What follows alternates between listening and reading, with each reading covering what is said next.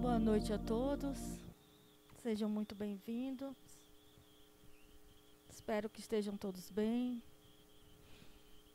Se não estiver tão bem assim, eu tenho certeza que diante de tanta luz e de tanto amor, vocês vão sair bem melhor do que chegaram.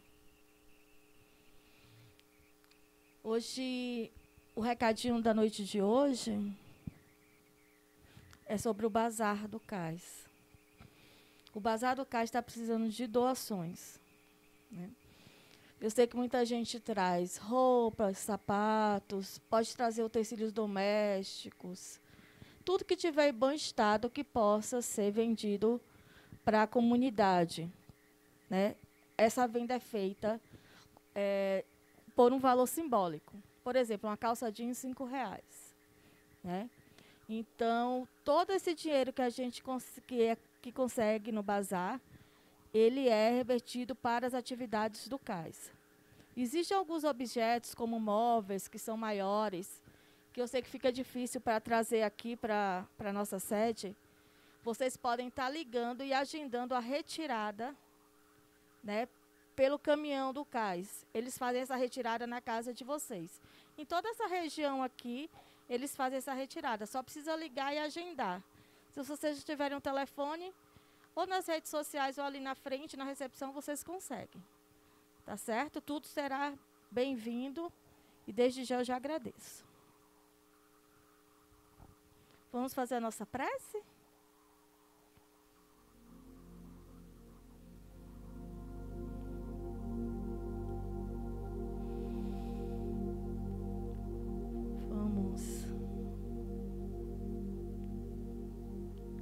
Começar a permitir, a receber tudo que está para nós aqui nessa noite. Agradecer principalmente a espiritualidade amiga que preparou um ambiente de muita harmonia e amor para todos nós.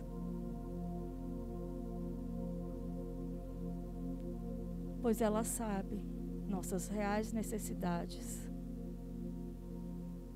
Que os nossos corações possam estar abertos para todo o aprendizado que será dado durante essa noite. Que Jesus, nosso mestre amigo, seja sempre o nosso guia. E que nos mantenhamos firmes no caminho reto do bem e do amor. Vamos envolver o nosso irmão André com todo o amor que fará a palestra da noite de hoje. Que assim seja, graças a Deus.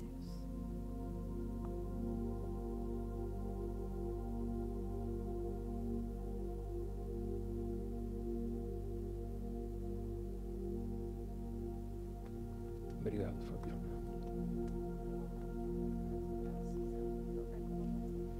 Melhor, né?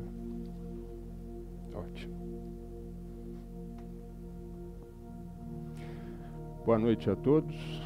Meu nome é André Gertzenstein, mas vocês podem me chamar de André, que eu sei que o Gertzenstein é muito difícil. Está aqui o passarinho, que é meu amigo há quase 30 anos, levou 15 para aprender a falar. Então, para vocês, eu sou o André. O nosso tema hoje é o capítulo 11 do livro Boa Nova de Humberto de Campos. Ele trata do conhecido Sermão da Montanha, ou, como ele chama, o Sermão do Monte.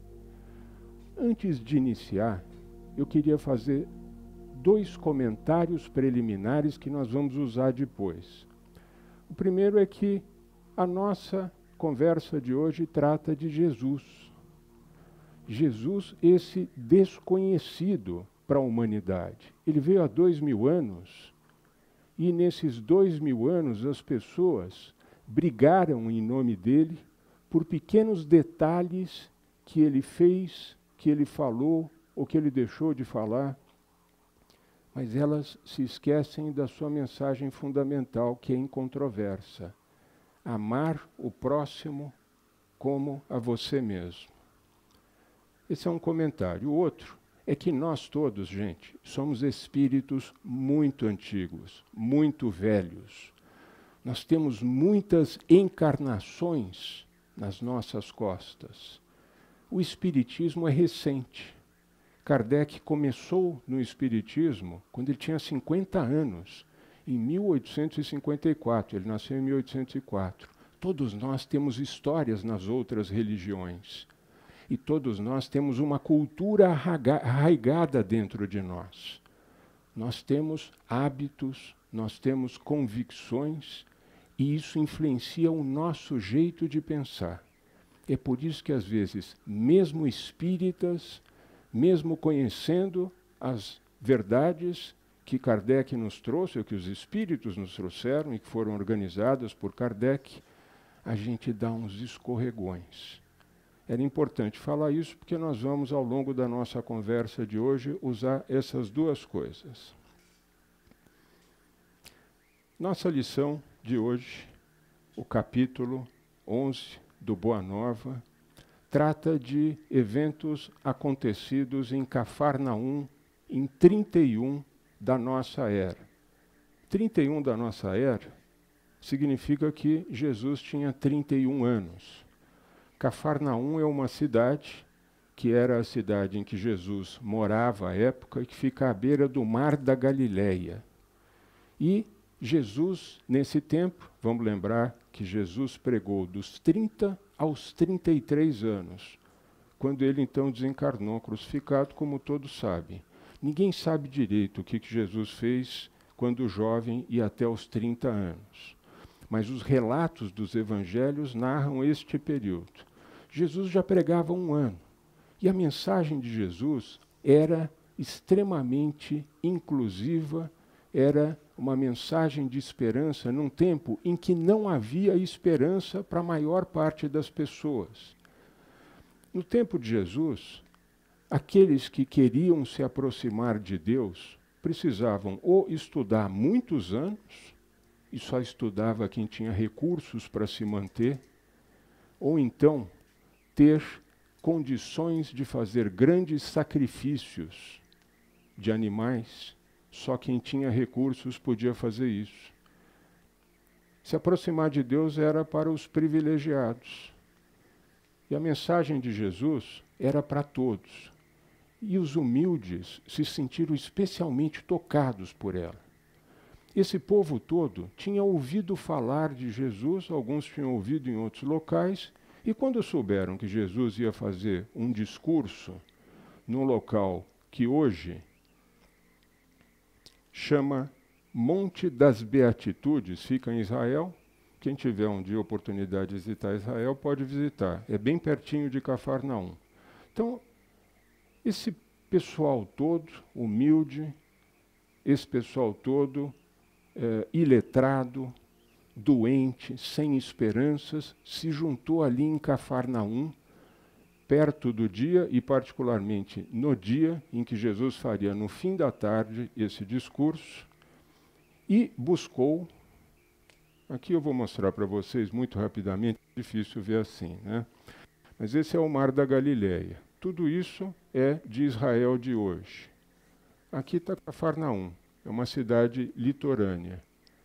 E aqui está o Monte das Beatitudes. Foi aqui que Jesus proferiu o sermão da montanha. Aqui, um pouco mais perto, Cafarnaum e o Monte das Beatitudes.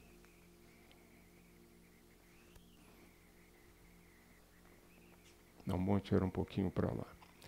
Então, nós estamos num ambiente em que tem toda uma população em Cafarnaum de pessoas buscando esperança. E essas pessoas, elas se concentraram em torno daqueles que eram mais próximos de Jesus. Ora, se você vai visitar, você vai ouvir um discurso de uma pessoa muito importante e tem lá os discípulos dele, você tenta chegar próximo a eles. Um desses discípulos era Levi. Levi era um cobrador de impostos e que depois se tornou Mateus. É o evangelista Mateus, ele mesmo. E é ele quem relata essa história do Sermão da Montanha com maior riqueza de detalhes. As pessoas então foram atrás de Levi e Levi resolveu abrir a sua casa, era uma casa grande, para receber todo aquele pessoal. Entre essas pessoas havia três muito humildes que Levi até já conhecia de vista: Lisandro, Áquila e Pafos. E Lisandro, Áquila e Pafos, os três muito pobres, os três muito ignorantes, os três lutando com dificuldades para sobreviver, Lisandro, inclusive portador de deficiência, perguntaram ansiosos para Levi: Levi, como é que nós podemos contribuir com a boa nova? E Levi, com os seus conceitos arraigados, é aquilo que eu falei, com a sua cultura dentro dele, cultura que ele trazia de muito tempo, olhou para os três e disse: Gente, impossível. Vocês não conseguem manter a vocês mesmos. Vocês não têm cultura, vocês não têm capacidade. Alguns de vocês são, inclusive, inválidos. Vocês não têm a menor condição de contribuir com a boa nova. E os três saíram dali cabisbaixos. Porque a mensagem de Jesus era de esperança, e é por isso que atraía essas pessoas. Então, o que eles ouviram ali deixou os três muito desanimados. E eles saíram, e mais tarde, Jesus foi à casa de Levi. Tudo isso antes do sermão da montanha. E aí Levi vai correndo contar aquilo que aconteceu, a conversa, dizendo: Mestre, vieram três pessoas aqui que mal conseguem se sustentar, que não sabem escrever, que não têm saúde física, e vieram me perguntar o que, que podiam fazer pela Boa Nova. Ó, eu falei que não podiam fazer nada. Jesus ouviu aquilo, olhou para Levi com muito amor, como era a característica dele, e disse o seguinte: Levi, a minha mensagem é para esses. Aqueles que não precisam de esperança, não precisam da minha mensagem. Aqueles que não precisam de consolo, não precisam da minha mensagem. E Levi ouviu tudo aquilo e ficou muito impressionado. E aí tem uma coisa bacana. Levi ouviu as palavras de Jesus. Apesar dele ter aquela cultura na qual aquelas pessoas não podiam contribuir em nada, ele ouviu e se tocou com a mensagem de Jesus. Mais tarde, Jesus vai ao monte e começa o seu discurso. O Sermão da Montanha é um dos discursos mais belos da história da humanidade. Como eu disse, as pessoas vivem brigando por causa de Jesus. Tem uma igreja que diz que Jesus entrou no domingo de Ramos sentado num burro branco. Tem outra que diz que ele estava ao lado do burro e que o burro era preto. Então, elas fazem um cisma e aí você tem a igreja do burro branco e a igreja do burro preto. Tem gente que acha que Jesus dizia que era para comer com a mão direita. Tem gente que acha que Jesus dizia que era para comer com a mão esquerda. E não raro, essas turmas guerreiam umas com as outras e acabam se matando, tudo em nome de Jesus. O Sermão da Montanha é a essência da moral de Jesus. Se a gente esquecer todo o resto do Evangelho, e se apegar àquele sermão, lá está tudo. Vocês já ouviram falar desse sermão? Alguns conhecem. É quando ele fez aquelas falas das bem-aventuranças. Bem-aventurados os pobres de espírito, porque deles é o reino dos céus. Bem-aventurados os que choram, porque deles é o reino dos céus. Bem-aventurados os humildes, Bem-aventurados os perseguidos, bem-aventurados os puros de coração, e bem-aventurados os que têm fome de sede e justiça. Quem é que descreve perfeitamente esses bem-aventurados? Os três que foram à casa de Levi. No dia seguinte, Levi abre de novo a casa dele e recebe muitas pessoas Entre elas estava Lisandro. Lisandro era o portador de deficiência. Levi foi até Lisandro, deu um abraço sentido em Lisandro e Jesus, olhando aquilo, ficou extremamente feliz, porque Levi compreendeu a mensagem dele e se transformou, que é o mais importante. Jesus disse muitas coisas e a gente compreendeu muito pouco. Muito bom. Sempre que eu começo uma palestra, eu procuro estabelecer uma meta. O que eu gostaria de transmitir para o público? Hoje, eu gostaria de transmitir duas coisas para vocês. A primeira, eu gostaria de fazer um paralelo entre o que diz a lição 11 do Boa Nova e aquilo que a gente vive hoje. Jesus trouxe coisas e as pessoas se transformaram. O Espiritismo trouxe coisas para nós, trouxe uma mensagem consoladora, trouxe conhecimento que a gente não tinha. O Espiritismo nos enriqueceu. Levi, com aquilo que conheceu, se transformou. Que modificações o Espiritismo tem trazido para nós? Se a gente pensar naquela lição, naquele relato, quem seríamos nós? Levi ou Lisandro, Áquila e Pafos? Então é isso que a gente vai ver. Nós somos os dois. Nós somos Levi quando a gente se sente superior. Olha só, situações comuns. Alguém que cometeu erros graves. A gente liga a televisão, a gente sabe que todos têm um apego muito grande pelas notícias ruins e passam lá todos os crimes do dia. E a gente fica vendo aquilo, e o criminoso fala, e a polícia diz, e olha e diz assim: Nossa, o que esse cara é capaz de fazer? Eu jamais seria capaz de fazer isso. Ele está muito mais atrasado do que eu. Esse é o sentimento que a gente tem. Né? Nós nos sentimos superiores quando a gente vai a um trabalho mediúnico e se manifesta um espírito muito endurecido e voltado ao mal.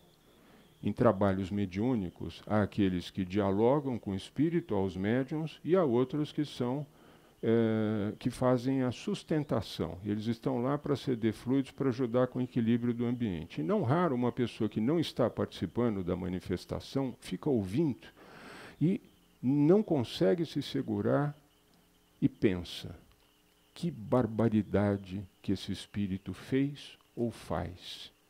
Como ele é endurecido, como ele é atrasado. Eu não sou que nem ele. Em outras palavras, eu sou superior a ele. Outro comportamento de Levi. Nós nos sentimos superiores a alguém com provas extremamente difíceis, achando que esse alguém, isso é típico de espírita, né? Então a gente aprende que tem a reencarnação, aprende que tem a lei de causa e efeito, interpreta do nosso jeito. E aí a gente olha alguém com um sofrimento muito grande e fala: Ah, meu Deus, nem imagino o que esse cara fez na última encarnação. Então estou atribuindo a ele um grande pecado. O sofrimento dele é consequência de um grande pecado. E, portanto, ele é inferior a mim. De novo, a gente agindo como Levi. Quando a gente se sente superior, alguém que nos pede ajuda e apoio, e a gente trata esse alguém com superioridade. Como é comum isso? Alguém vem, confessa um problema para mim, e eu ouço, claro, eu aceito ouvir, e eu olho para a pessoa, assim, com aquele olhar de, oh, sim, claro. É, e a pessoa se constrange. E qualquer bem que eu poderia fazer à pessoa desaparece, porque eu passo a mensagem de que ela é inferior a mim, de que eu sou superior a ela. Ora, essa forma de pensar, essa que eu acabei de descrever, ela é coerente com os nossos princípios espíritas. É o que nós vamos ver agora. Nós vamos fazer uma comparação entre a visão do Espiritismo e a visão de Levi, a visão original de Levi porque a gente já viu que ele mudou de posição. O Espiritismo é baseado num conjunto grande de leis e essas leis estão na obra básica. Todos aqui conhecem as obras de Kardec: o Livro dos Espíritos, o Livro dos Médiuns, o Evangelho segundo o Espiritismo, a Gênese, Céu e Inferno e Obras Póstumas, que é um livro publicado depois da morte de Kardec, que foi em março de 1869 quando o sucessor dele na Sociedade Parisiense de Estudos Espíritas, Pierre Gaston Lemaire, pegou lá nas gavetas deles uma porção de artigos, de textos que ele tinha escrito, mas que não tinha publicado. Juntou aquilo e isso virou Obras Póstumas, que, aliás, para mim, é o livro mais gostoso de ler da obra de Kardec. Lá estão as leis que os espíritos ditaram, que são as leis que, no seu conjunto, compõem a lei natural ou lei divina. Uma delas, muito importante, é essa lei de evolução. A lei de evolução nos ensina que todos nós, que somos espíritos imortais, somos criados simples e ignorantes. Que todos nós, depois de muitas encarnações em que a gente acerta, em que a gente erra, vamos nos tornar perfeitos todos nós atingiremos a perfeição. E aqui começa. Todos. Todos nós. É, todos nós. E aí começa o nosso espírito de Levi, então. E espíritos criminosos, endurecidos, capazes dos piores atos. Às vezes a gente tem dificuldade de pensar assim: poxa, mas eu me porto tão bem. Aquele fulano é um criminoso, é, é um sujeito terrível, cruel. Como é que eu e ele podemos chegar ao mesmo lugar? Com um sentimento bem humano de que não é possível, seria um demérito a mim, com tudo que eu faço, com tudo que eu me esforço, estar tá junto com ele. Gente, para decepção de alguns, eles são iguais a nós, sim. Eles não estão iguais a nós, mas eles também foram criados simples e ignorantes como nós. Eles também, ao longo das encarnações, tiveram erros e acertos, e neste momento, eles podem estar numa posição diferente da nossa. Eles também estão, como nós, a meio caminho da evolução. Imagine a evolução como uma linha aqui do tempo em que eu sou criado simples e ignorante, eu chego à perfeição. A gente está mais ou menos na metade. E eles também.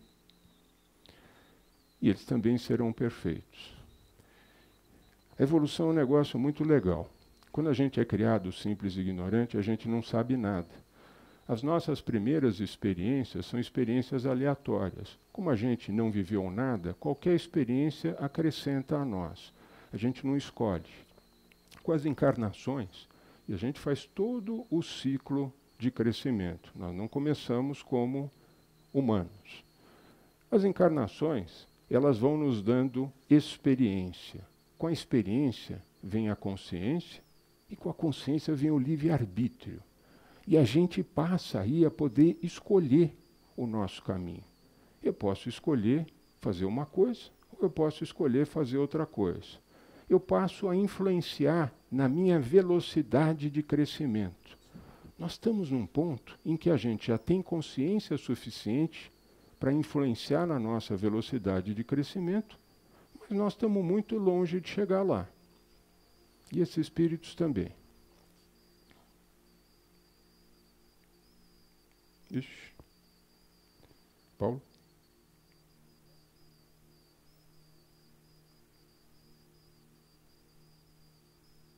Estamos aqui com um probleminha técnico.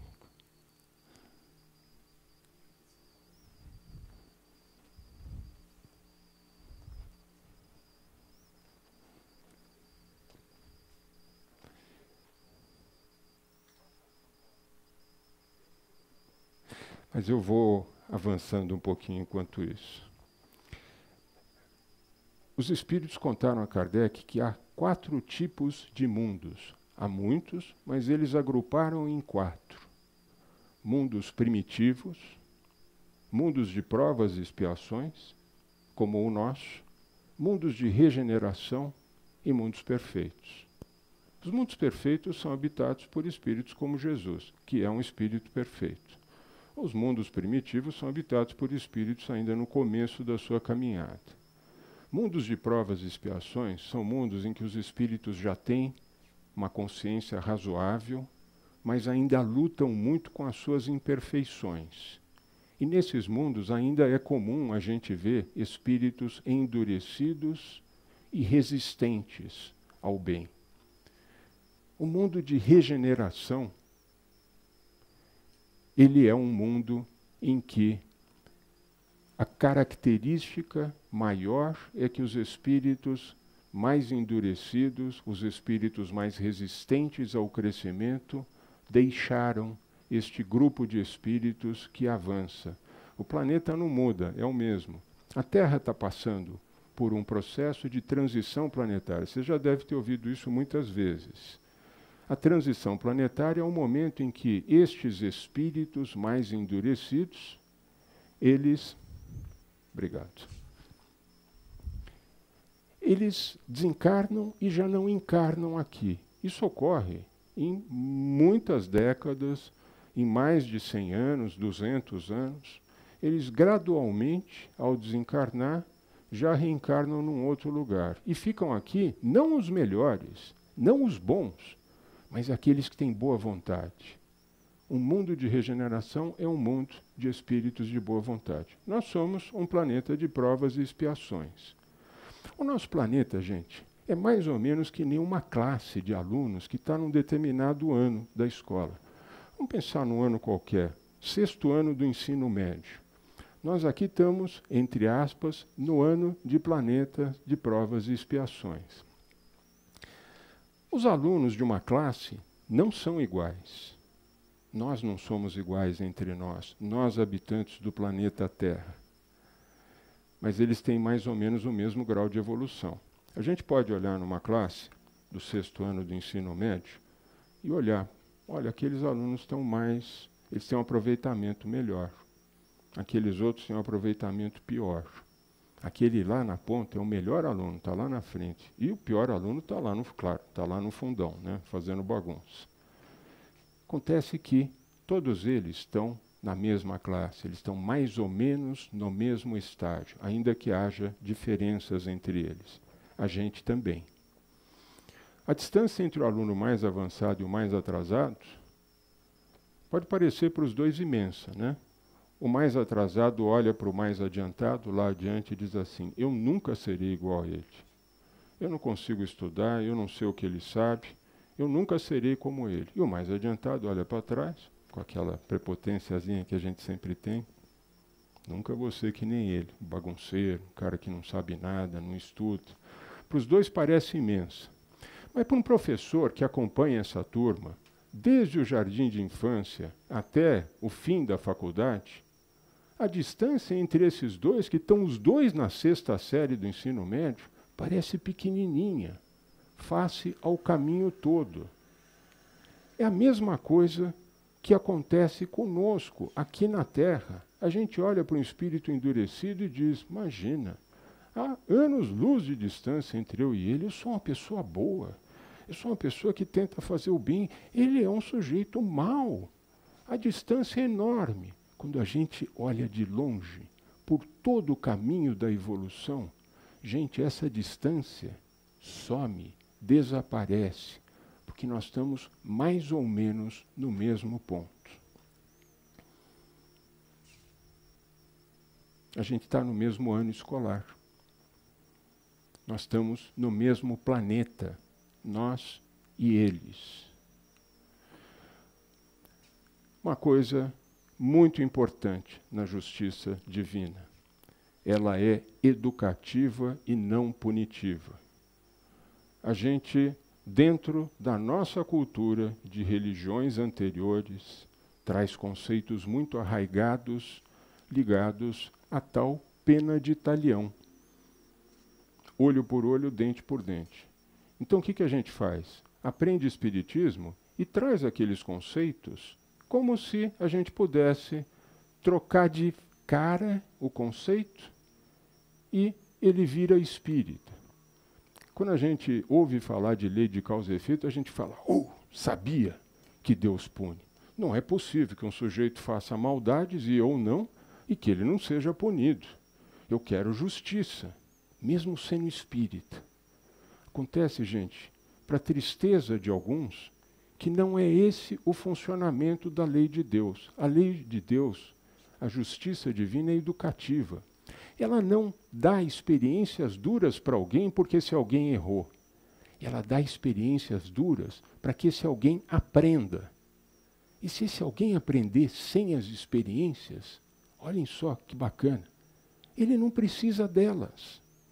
Então, se eu faço um mal muito grande a alguém, eu, por exemplo, há uma história dessa a ser contada num livro espírita, eu não vou me lembrar qual. O sujeito, numa encarnação anterior, é, fez com que uma outra pessoa, um desafeto dele, perdesse as duas pernas. E ele mesmo, quando planejou a sua reencarnação, pediu que ele, num determinado mo momento da vida, sofresse um acidente e perdesse as duas pernas. Não como punição, inclusive porque foi uma escolha dele mas porque ele queria sentir aquilo que ele causou no outro e fazer com que essa impressão ficasse gravada no seu espírito. Acontece, gente, que ele cresceu demais nessa encarnação. Ele se modificou profundamente antes do acidente. Sabe o que aconteceu na época do acidente? Não houve. Ele não perdeu as pernas. Porque perder as pernas não seria uma punição Perder as pernas era educativo e ele não precisou desse gesto. Vejam como isso confronta com o nosso sentimento das coisas.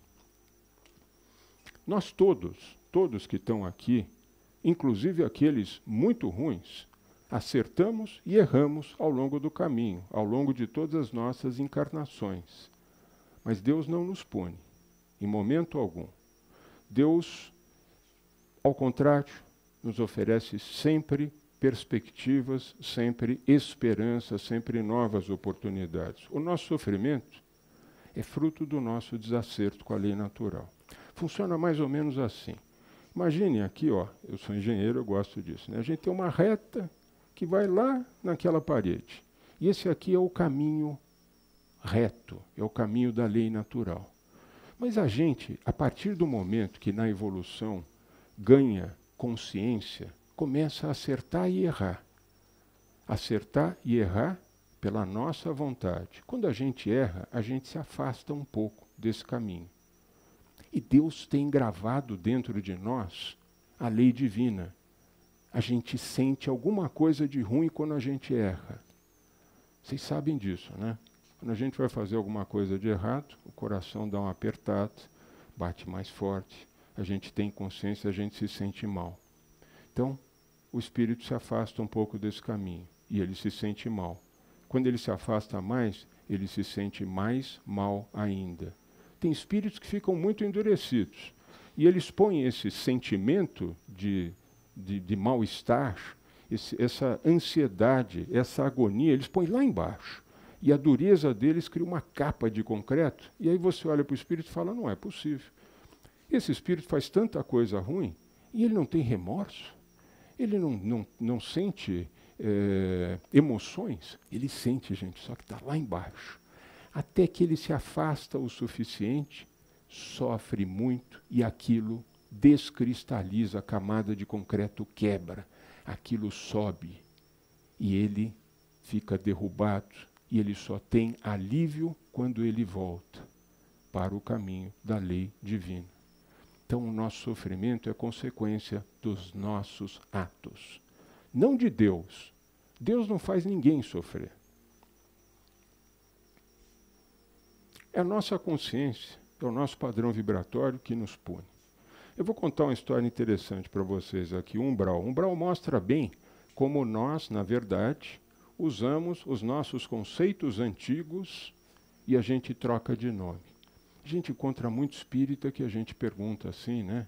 Ah, umbral? Ah, umbral eu sei o que é. Umbral é inferno, só que com o nome espírita. Então, Deus não criou o inferno, que é isso? Isso é coisa de católico. Ele criou um umbral. E aí os espíritos eh, das trevas, os espíritos desequilibrados, eles vão todos para o umbral. O que, que mudou neste conceito? Zero, nada. Bom, e o que, que é umbral? Quem é que criou o umbral? Agora o ponto interessante. Eu não sei quem de vocês conhece a Gênese, a Gênese, o livro de Kardec, eh, ou o livro que os espíritos eh, ditaram para Kardec, ele tem lá um capítulo, que é o capítulo 14, que é o capítulo de fluidos. Vocês sabem o que são os fluidos? Fluidos é, são a matéria do mundo espiritual. Para nós, isso aqui é matéria. Como é que eu mudo a forma dessa matéria? Com martelo, com serrote. Os fluidos são diferentes. Para os espíritos, eles são tão sólidos quanto essa matéria para mim. Só que os fluidos sofrem a ação do pensamento. É o pensamento que muda os fluidos, que os transformam. Aquelas cidades como o nosso lar, que tem prédios, que tem veículos, de onde vem tudo aquilo? Aquilo vem da capacidade de espíritos extremamente esclarecidos com a sua mente transformarem os fluidos que estão no mundo espiritual. E eles é que criam os prédios, eles é que criam o pavimento, eles é que criam todas aquelas coisas. Essa coisa do pensamento influenciar o fluido é tão forte que tem espírito que desencarna e você conversa com ele num trabalho mediúnico e ele diz que ele não desencarnou. Ora, como, não, como é que eu desencarnei? Eu estou aqui pegando em mim, estou usando o mesmo relógio que eu sempre usei. Aqui é minha camisa, essa camisa que eu gosto. Eu uso ela sempre, minha calça, meu cinto. Tem espírito de militar que desencarna, ainda buscando guerra, e ele está convencido de que ele está com uma ferida, que a ferida sangra, que ele está com a arma dele. Da onde vem tudo isso? Vem da crença dele de que aquilo é verdade e do efeito que o pensamento dele tem sobre essa matéria fluídica.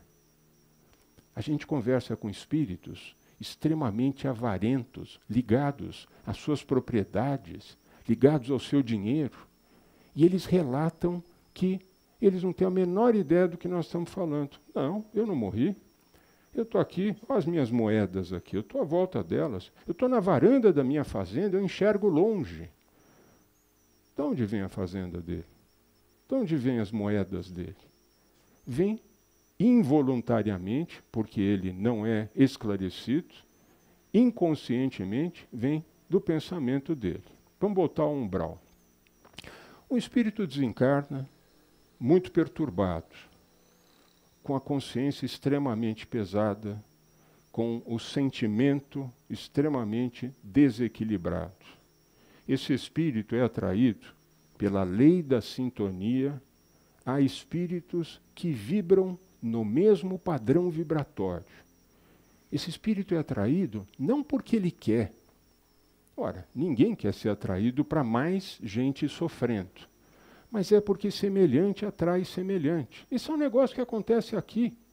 Numa classe escolar, que é o exemplo que a gente está usando, as pessoas, você solta lá no primeiro dia, duas semanas depois já tem os grupinhos. E quem é que forma grupinhos semelhantes? Só que aí, aqui, a gente escolhe por afinidade. Lá, isso é automático. Esse espírito desencarna e ele é atraído por um grupo grande de espíritos perturbados como ele. Que, que este conjunto de mentes perturbadas faz na matéria fluídica à volta deles? O que é que vocês acham? Se o sujeito que desencarnou e acredita que tem o seu dinheiro molda em fluidos o seu dinheiro, se os espíritos esclarecidos de nosso lar fazem prédios com a força do pensamento, esses espíritos, eles vibram desequilíbrio, eles vibram perturbação e eles é que afetam a matéria fluídica em torno deles. Aquelas árvores tortas, aquele chão lodacento, aquelas aves feias, aquelas cavernas, elas são reflexo do desequilíbrio daqueles espíritos. Da onde vem o sofrimento deles? Não é de Deus. É consequência do padrão vibratório deles. Tanto é verdade que, quando um espírito muda o seu padrão vibratório, ele sai do umbral. Vocês que conhecem André Luiz, quem não conhece, leia, é uma maravilha. André Luiz muitas vezes foi visitar um umbral com os seus orientadores e se tocou com aquelas cenas de espíritos pedindo para ser retirados dali. E ele perguntava para o orientador: Mas por que, que a gente não resgata esse espírito? Ele está sofrendo. A gente leva para nosso lar. Aí o orientador respondia para ele o seguinte: Se eu resgatar hoje, amanhã ele está de volta aqui. Porque o que mantém ele aqui é o seu padrão vibratório. Quando o espírito muda de padrão vibratório, esses, essas equipes de resgate vão lá imediatamente resgatam o espírito. Voltando, a justiça divina não é punitiva. Quem sofre, sofre por consequência dos seus atos, da sua consciência. Esse aspecto educativo da justiça divina ele permite que sempre a gente receba novas oportunidades. Isso é muito legal. Né? É, às vezes eu sou procurado por pessoas que cometeram erros realmente muito grandes. Muito grandes. E a pessoa está profundamente arrependida e o sentimento do qual ela é tomada é de que ela não tem mais jeito. Ela fala: Eu não sei o que fazer. O que eu fiz não tem perdão. Eu não tenho mais jeito. Ela perdeu a esperança. O que, que a gente, como espírita, deve fazer com essa pessoa? Deve passar a mensagem da justiça divina, que é a mensagem de Jesus. Você tem sim esperança. Você é um espírito imortal. Você tem muitas encarnações pela frente. Não importa o erro que você cometeu, não importa onde você está, você pode estar lá embaixo. No momento em que você quiser receber as, essas oportunidades, você as terá. Isso muda o padrão vibratório da pessoa. Ela terá resgates a fazer, não para ser punido por Deus, mas porque a gente assume compromissos com pessoas que a gente prejudica, mas ela terá novas oportunidades. A gente sempre recebe novas oportunidades, muitas vezes através de reencarnações difíceis, mas muito valiosas. É verdade. Quando a gente erra muito, dependendo do tipo de erro, a gente precisa de experiências que, às vezes, olhando para aquele momento, são muito difíceis. Mas é delas que a gente tira o conhecimento, o aprendizado, para que a gente volte a caminhar pela linha que me leva lá para a parede do fundo. Uma coisa, assim, bastante interessante. Quando a gente reencarna, a gente participa da escolha das nossas provas. Alguns pensam que Deus dá lá um livreto dizendo: oh, isso aqui é o que vai acontecer com você, esse aqui é o seu corpo, vai embora. Não é assim.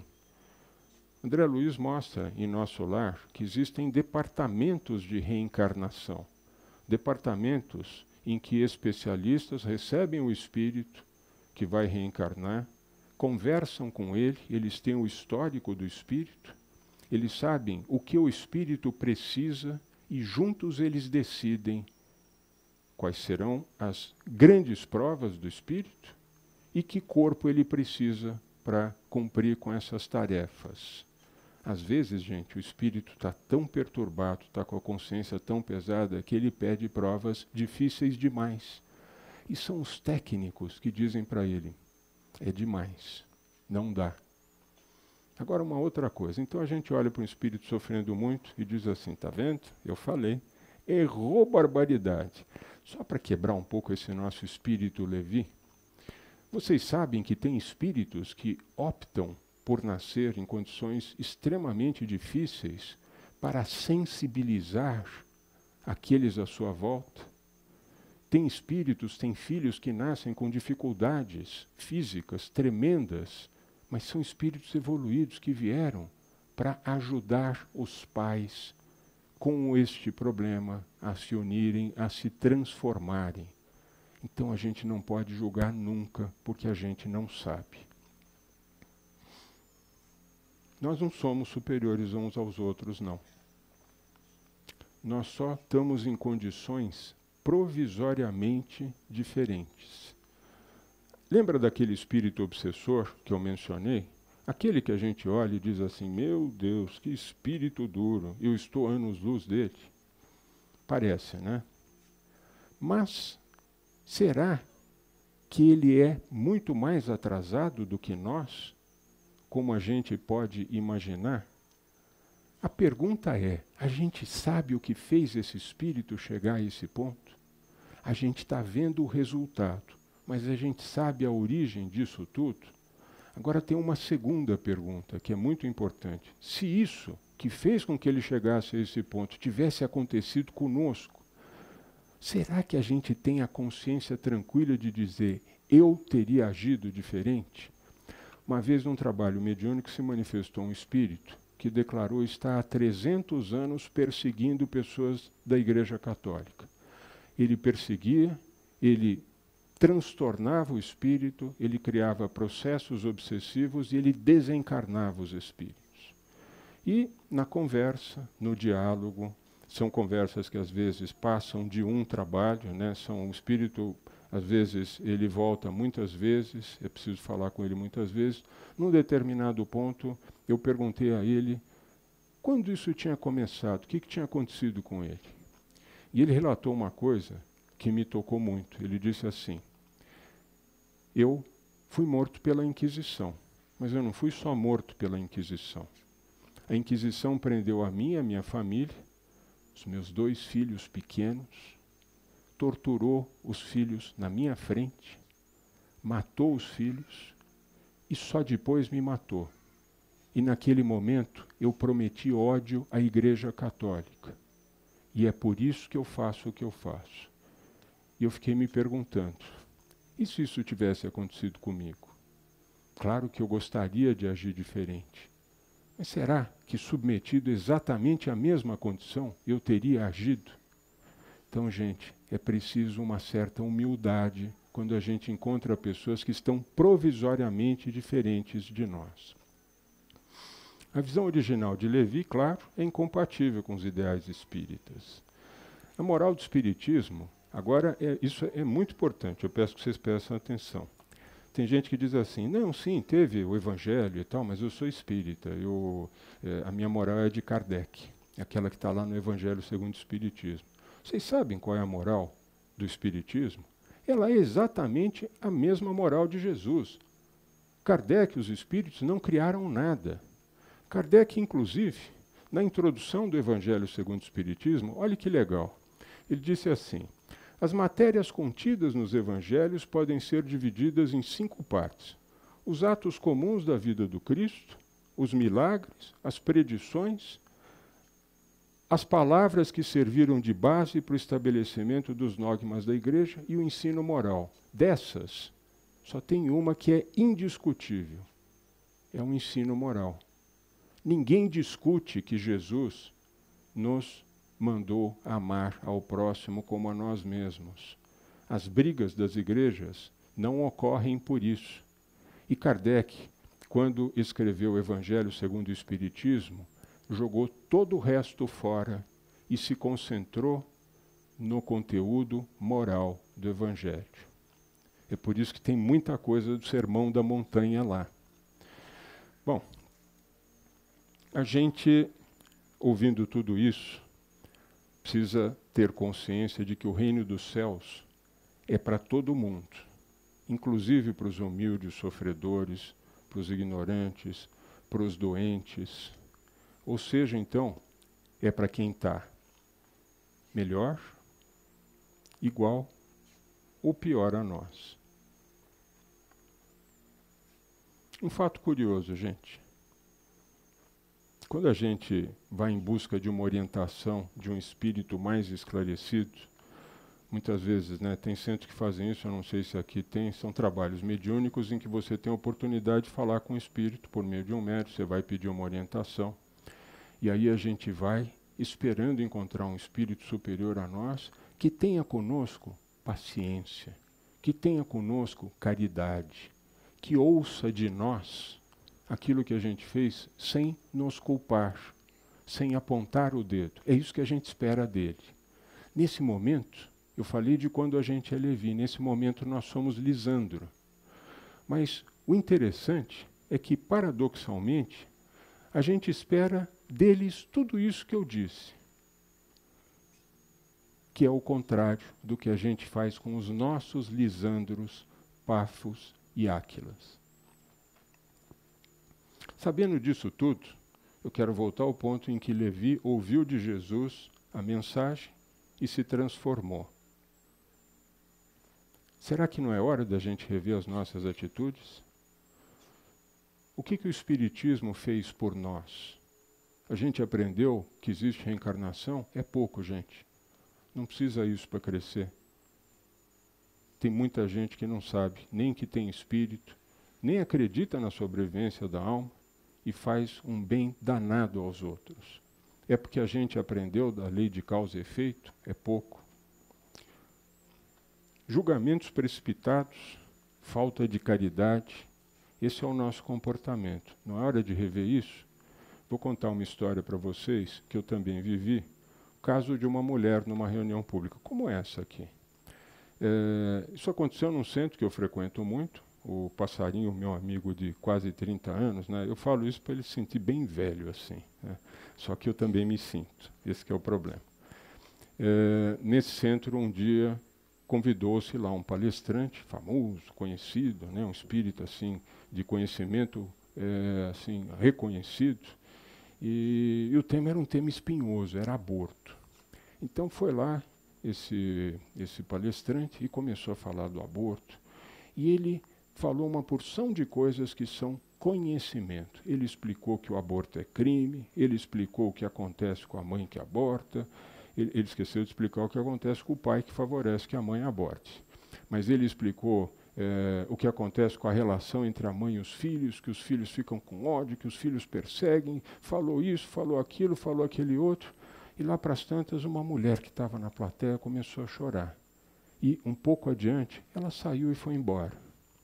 Bom, depois a gente soube que essa era uma mulher que tinha abortado, que estava com a consciência extremamente pesada e que tinha vindo ao centro espírita em busca de acolhimento que acolhimento que ela teve. Ela não precisa saber o tamanho do erro dela. Ela sabe. Está no coração dela. Nós, como espíritas, não temos que julgar os outros. Não adianta. Nós precisamos fazer aquilo que Jesus fez com as pessoas da época. Nós precisamos dar esperança, porque é assim que funciona a lei de Deus. Espiritismo, outra coisa importante, não é mediunidade. Às vezes eu encontro pessoas que dizem assim para mim, eu falo, poxa, então você agora é espírita? Ah, sim, eu sou espírita. Mas olha, eu não gosto desse negócio assim de, de, de ler livros e tal. Eu gosto mesmo da parte da mediunidade do espiritismo. Eu gosto, porque é isso que é legal. Eu vou lá em, em, em trabalhos mediúnicos, eu vejo aquela coisa toda. É, é, dessa parte do espiritismo que eu gosto. O que, que vocês acham disso? Mediunidade é um fenômeno natural. Ele sempre existiu. Ele não foi criado pelo Espiritismo. Ele é uma ferramenta que o Espiritismo usa com duas finalidades, e só duas: a gente ajudar o próximo e a gente receber ajuda. Quando a gente usa a mediunidade para falar com o espírito que precisa de apoio, de acolhimento, a gente está usando esta ferramenta em favor do próximo. Quando a gente usa a mediunidade como ferramenta de cura, passes, às vezes cirurgias, a gente está usando a mediunidade como ferramenta em favor do próximo. Quando a gente recebe dos espíritos orientação, seja por um livro psicografado, seja por uma mensagem, por um diálogo, a mediunidade está sendo usada como ferramenta de amor ao próximo. Mediunidade para nós é uma ferramenta. Tanto é que tem espírita que não é médium, que nunca teve vontade de participar de um trabalho mediúnico e que faz trabalhos belíssimos. O objetivo da doutrina, gente, não é apenas de transmitir novos conhecimentos. Tem outras pessoas que dizem assim: eu li o livro dos Espíritos inteiro. O que eu não gosto muito é aquela parte lá da moral e tal, que esse negócio é meio xarope. Mas eu, poxa, que interessante que é o negócio da reencarnação, né? Bacana e tal. A gente pega os conhecimentos e eles nos consolam. Quando a gente vê injustiças e a gente conhece a reencarnação, a coisa fica mais clara para nós. É verdade, o conhecimento consola. Mas o Espiritismo não é este conhecimento, não é esse o objetivo. Emmanuel dizia que. Perfeito. Os espíritos, que o Espiritismo tinha três pilares: filosofia, religião e ciência. A ciência trata da mediunidade dos fluidos, a filosofia deste conhecimento que eu acabei de falar, reencarnação, quem somos, e a religião é o ensino moral. A parte moral é a parte que nos importa dentro da doutrina espírita. O resto é bom, mas é dispensável. Doutrina prega fundamentalmente caridade e fraternidade. Tudo que Levi originalmente não teve. Por isso, gente, que a postura original de Levi é incompatível com a doutrina espírita. Gente, se nós vamos agir como Levi, então vamos agir direito, vamos agir por inteiro. Quando ele soube da verdade por Jesus, ele mudou suas atitudes. Ele praticou a sua reforma íntima. Vocês já ouviram essa expressão? É bom que tenham ouvido, porque é a nossa reforma íntima que é o objetivo final do Espiritismo. Muito obrigado. A organização, desculpe pelos minutos a mais.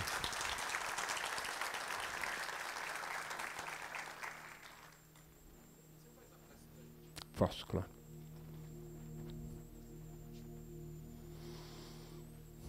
Vamos elevar o nosso pensamento ao nosso Pai, agradecendo pela oportunidade, agradecendo pelos conhecimentos que a doutrina espírita nos trouxe, mas sempre nos perguntando o que é que a gente tem feito desse conhecimento, em prol do nosso crescimento e em prol do próximo.